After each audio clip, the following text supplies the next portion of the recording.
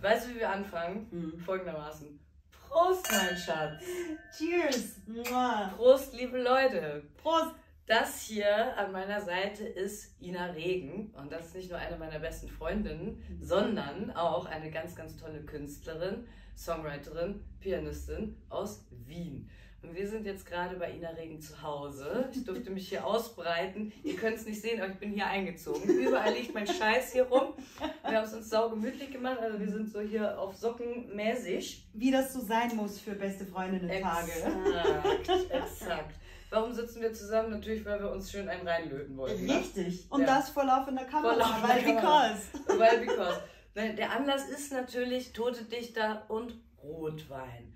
Das, äh, du hast es ja schon gehört, als eine der ersten. Mhm. Und ich liebe es und ich äh, bin so glücklich, dass es jetzt endlich rauskommt, weil es liegt ja schon eine Weile. Ja, stimmt. Aber gut, Ding will auch Weile haben, aber ich äh, befeiere dich schon jetzt und freue mich sehr, wenn ich es zu Tode streamen kann. weil der- Tote Dichter. Tote Dichter. Ja, genau. Also der Song ist schon ähm, gut gereift, sozusagen, wie, wie so ein Wein. Muss auch. Ja, muss auch. Wir haben ja eh immer so Getränkesachen, ne? Richtig. Also du hast sowieso auch Getränke. ja, also meinen Lyrics zufolge müsste ich ein Alkoholproblem haben. Doller als ich. Lyrics zu folgen. Ich Schnaps? Ich gewinne. Probably.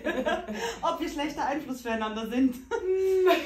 Entscheiden Sie selbst. Rufen Sie uns an. selbst. Genau. Rufen Sie uns nicht an, wir rufen Sie an. Ja, aber ich glaube schon, dass wir uns diese Affinität zu äh, Dichtern, gerne auch den Lebendigen, Ja. äh, und äh, ja, guter Poesie, schönen Gedanken und gerne auch ein bisschen in diesen Wattepausch, den äh, Alkohol halt manchmal auch auslöst, ähm, dass wir uns die Affinität dafür teilen. Manchmal so ein bisschen so eine angenehm puffernde Wirkung. Ja. Worauf ich eigentlich hinaus wollte, ist ja dein Podcast. Hm. Weil der heißt ja folgendermaßen. Man kann jetzt ein bisschen Werbung machen. Ja, der Podcast heißt Rotweinplausch, ist ein Philosophie-Podcast. Also wir philosophieren dort übers Leben und ist tatsächlich angelehnt an ein Lied, das wir beide gemeinsam geschrieben haben, äh, das unser erstes gemeinsames Mhm. Lied war und äh, dementsprechend auch die Marke zeichnet in meinem Leben für Schockverliebt in Flinte. Zurück. Ganz toll. Ähm, das Lied heißt Lernen, wie man lebt und ähm, darin gibt es eben auch die Zeile im Rotweinrausch, das Sing jetzt laut, laut. schreib Lehrer übers Leben. Ähm, und aus dem Rotweinrausch, weil ich eben, es heißt ja nicht umsonst in Vino Veritas, also mit so einem, mit so einem leicht gelockerten Gehirn und einer lebendigen Zunge redet man ein bisschen leichter über die Dinge, um die es wirklich geht im Leben. Und man verliert so ein bisschen die Schutzhüllen und kommt ein bisschen an die Substanz heran von allem.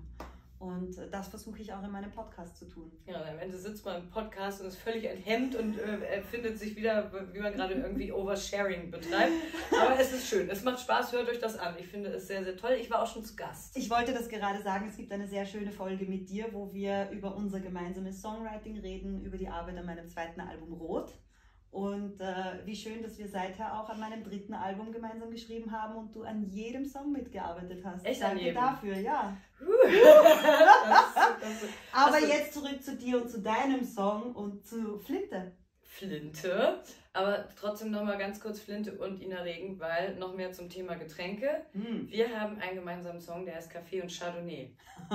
Das muss man vielleicht auch noch kurz sagen. Ja, Ähm, der kommt bald. Wir der sagen, kommt im Frühling 23. So nämlich.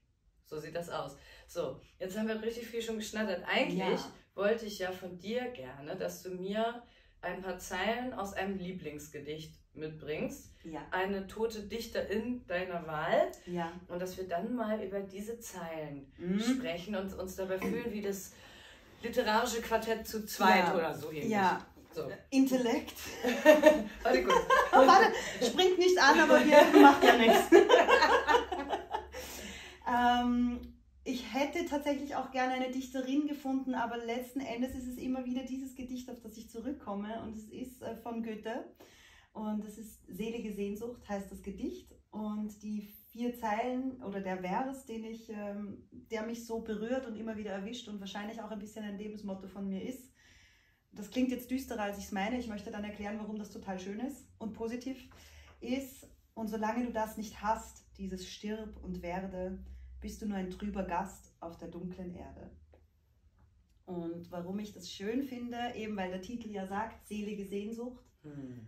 Ich finde, ein sehnsüchtiges und damit meine ich ein neugieriges, lebenshungriges Leben zu führen, ist so der Inbegriff dessen, warum ich überhaupt existiere, glaube ich. Weil, ja, und warum ich das tue, was ich tue und warum ich äh, auch in der Kunst das suche, was ich suche und weil Kunst machen ja sowieso oder Musik schaffen ja im besten Sinne sowieso immer wieder ist, mit sich mit jedem Lied neu erfinden und neu, etwas Neues an sich und am Leben herausfinden. Und damit du was Neues finden kannst, musst du das Alte immer wieder bereit sein zu zerreißen und aufzuopfern irgendwie. Und ähm, ja, irgendwie habe ich das Gefühl, Goethe hat vor ein paar hundert Jahren sich wohl schon ähnliche Gedanken gemacht über, wie geht das mit einem erfüllten Leben? Nämlich nicht nur, ich glaube, wir haben so Bilder im Kopf mit einer erfüllten Jugend und die wilden Teenagerjahre und dann irgendwann streben wir, also manche von uns streben nach diesem und dann ist man erwachsen und dann hat man das Leben auch irgendwie so in the pocket und unter Kontrolle. Und ich glaube, durch dieses Gedicht nicht zuletzt habe ich auch herausgefunden, dass es darum gar nicht so sehr geht, dass man die Kontrolle übers Leben hat, sondern dass man sich dem Leben immer wieder auch so hingibt. Das ist ja auch eine Illusion. Eben. Ne? Kontrolle ist eine Illusion, ja. Haben wir kürzlich auch schon mal irgendwie eine Line geschrieben. Ja, richtig. Ne?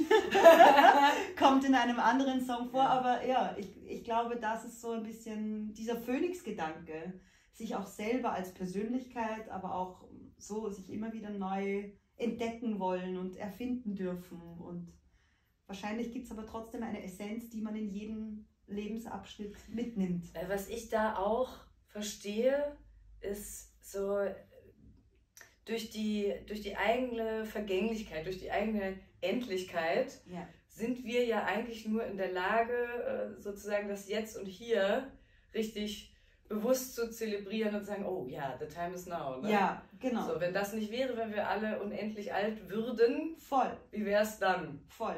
Ich finde, das habe ich mir ja ein bisschen, also ohne dass ich den Film so toll fand, aber Twilight und mhm. dieses, und du hast dein ewiges Leben und du bist ewig Teenager mhm. und dann schaust du die Zombies oder die Vampire an und denkst du, gar nicht mal so geil. Das Leben ist ja richtig langweilig. Ja. So, oh wow, jetzt bin ich zum 187.000. Mal verliebt.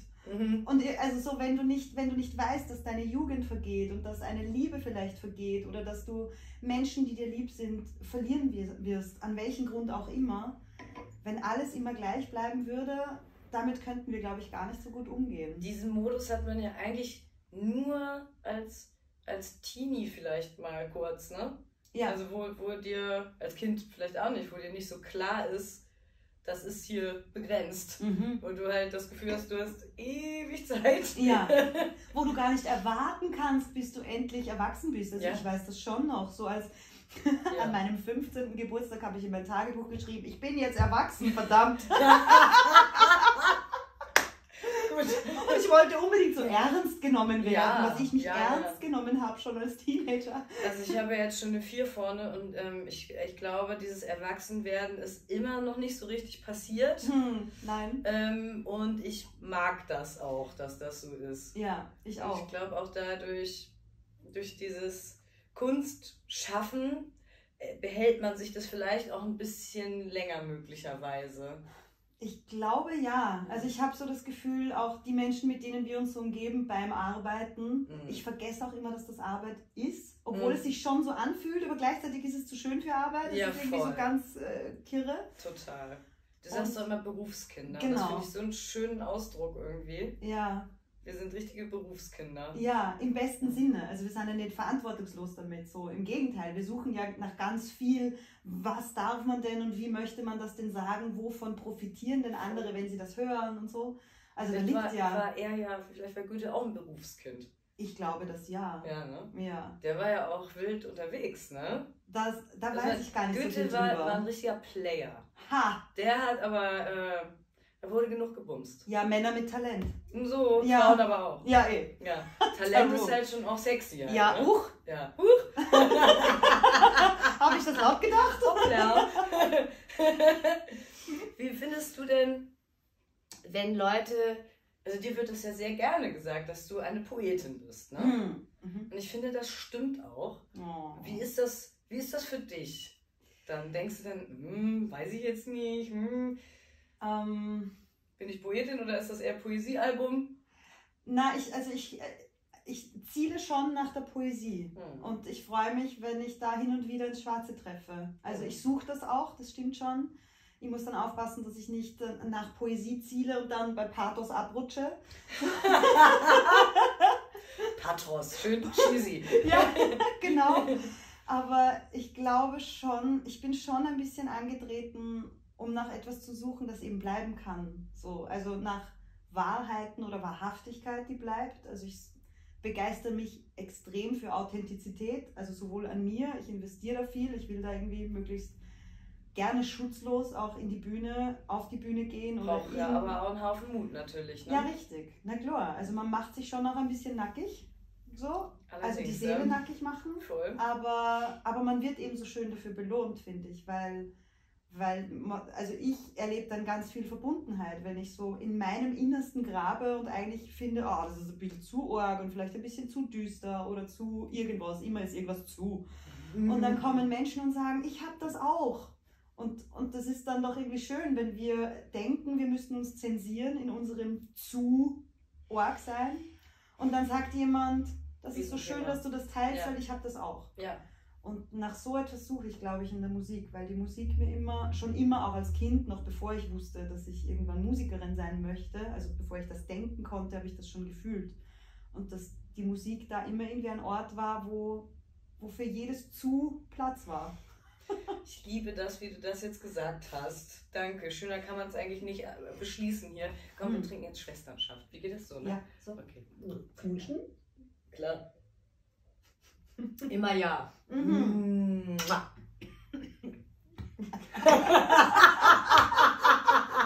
Okay, ciao. Ciao, Leute.